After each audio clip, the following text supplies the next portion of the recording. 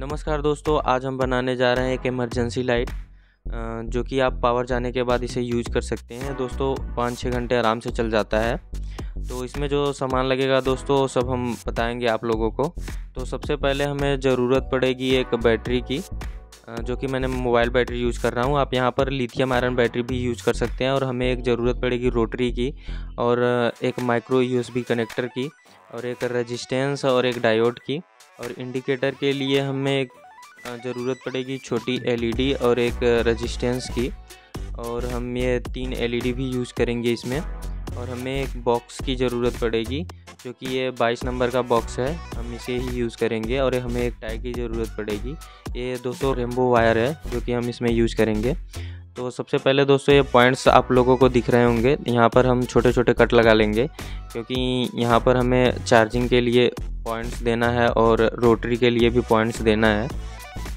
तो हम यहाँ पर दोस्तों कट लगा लेंगे। अगर दोस्तों आप लोगों को वीडियो पसंद आ रहा है तो वीडियो को लाइक कर चैनल को सब्सक्राइब कर लें और कमेंट सेक्शन में दोस्तों कमेंट करना ना भूलें। आप लोग दोस्तों कमेंट करेंगे, तभी हमें पता चलेगा कि ये वीडियो अच्छा है, बन रहा है कि नहीं बन रहा है। मैं आप लोगों को सही से बता पा रहा हूँ कि नहीं बता पा रहा हूँ। तो दोस्तों, वीडियो में बने रहिए। वीडियो में बने रहेंगे तो दोस्तों, आप लोगों को पूरा इसका वायरिंग समझ में आ जाएगा कैसे करेंगे। तो दोस्तों, हम रोटरी बैठाने से पहले इसमें डायोड का कनेक्शन कर लेंगे। क्योंकि तो रोटरी बैठाने के बाद हम इसमें सही से जोड़ नहीं पाएँगे सोल्डरिंग नहीं कर पाएँगे। तो दोस्तों, ये डायोड का जो सिल्वर वाला पॉइंट है वो प्लस पॉइंट है। तो उस वाले हिस्से को हम रोट रोटरी से अटैच कर देंगे अच्छी तरीके से।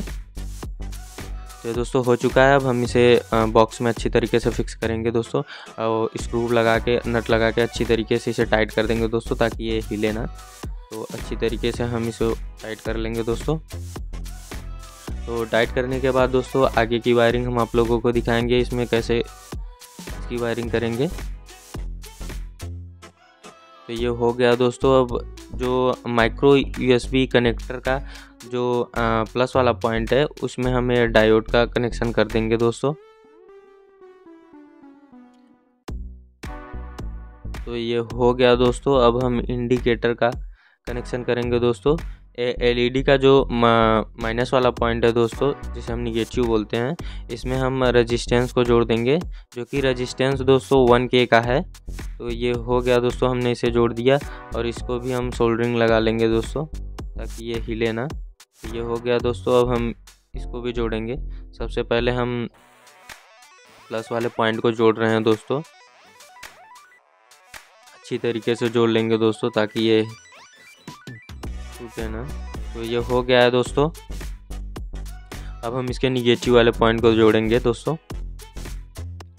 ये भी हो गया दोस्तों, अब हम इसे थोड़ा सा ऊपर की तरफ़ उठा के मोड़ लेंगे दोस्तों, ताकि ये शॉर्ट ना करे। तो ये हो गया दोस्तों, अब हम एलईडी को बैठाएँगे।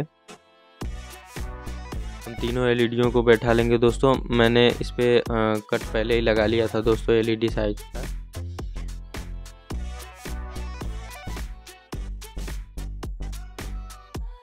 तो दोस्तों, जो ऊपर वाला पॉइंट्स है, वो निगेटिव पॉइंट्स है, जो नीचे का पॉइंट्स है, वो पॉजिटिव पॉइंट है। लोग देख सकते हैं दोस्तों। अब इसमें हम सोल्डरिंग कर लेंगे अच्छी तरीके से।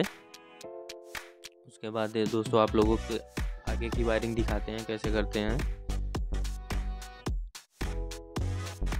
तो ये हो गया दोस्तों, अब हम इसमें रेजिस्टेंस को जोड़ेंगे। ये रेजिस्टेंस दोस्तों 220 ओम का है।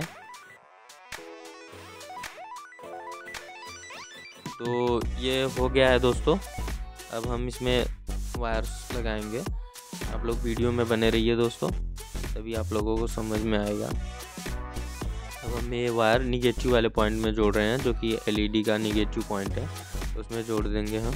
तो ये हो गया दोस्तों, अब चार्जिंग वाले पॉइंट्स में जोड़ेंगे, जो कि निगेटिव पॉइंट है। तो ये हो गया दोस्तों।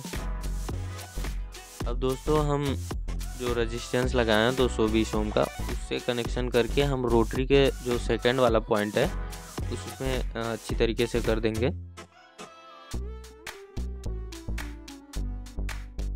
ये हो गया है दोस्तों। अब हम रोटरी के वाले पॉइंट पे इसे अच्छी तरीके से कनेक्शन कर देंगे। तो ये हो गया कंप्लीट दोस्तों। अब हम बैटरी का भी कनेक्शन करेंगे दोस्तों। बैटरी पे हम थोड़ा सा डबल साइड टेप लगा दें फिक्सिंग में आसानी रहेगी। अच्छे तरीके से फिक्स कर देंगे दोस्तों। ये हिलेगा नहीं। अब हम इसमें बैटरी के पॉइंट्स को जोड़ते हैं दोस्तों। सबसे पहले हम निगेटिव वाले पॉइंट को जोड़ रहे हैं दोस्तों। तो ये हो गया है दोस्तों, अब हम इसके पॉजिटिव वाले पॉइंट को जोड़ देंगे। भी हो गया दोस्तों। अब हम दोस्तों बैटरी को अच्छी तरीके से बॉक्स में फिक्स कर देंगे। ताकि दोस्तों बैटरी इधर उधर हिले ना। तो ये भी हो गया है दोस्तों। हमने इसे अच्छी तरीके से बैठा लिया। अब हम इसकी वायरिंग करेंगे दोस्तों। जो बैटरी का निगेटिव वाला पॉइंट है दोस्तों, वो हम चार्जिंग के निगेटिव वाले पॉइंट में जोड़ देंगे। तो ये हो गया दोस्तों, जो हमने जोड़ दिया है, जो पॉजिटिव वाला पॉइंट है दोस्तों वो डायोड का जो सिल्वर वाला पॉइंट था दोस्तों, उस वाले हिस्से पे हम जोड़ेंगे इसको। तो ये भी हो गया दोस्तों, मेरी वायरिंग कंप्लीट हो गई है पूरी। अब हम दोस्तों इसमें टांगने के लिए टाई लगाएँगे दोस्तों इस पर तो हम वहाँ पर छोटे छोटे छेद कर ले रहे हैं।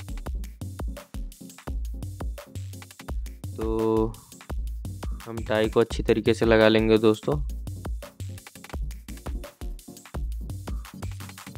तो ये दोस्तों हो गया है, अब हम इसे अच्छी तरीके से थोड़ा सा फिक्स कर लेंगे। तो ये हो गया दोस्तों, अब हम इसे टांग के कहीं भी ले जा सकते हैं दोस्तों, और कहीं भी हम इसे टांग देंगे।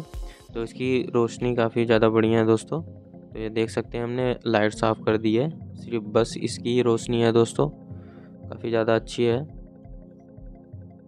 अगर आप लोगों को दोस्तों वीडियो पसंद आया तो वीडियो को लाइक कर, चैनल को सब्सक्राइब कर लें। चलिए दोस्तों, फिर मिलते हैं नेक्स्ट वीडियो में। तब तक के लिए बाय बाय दोस्तों। Take care.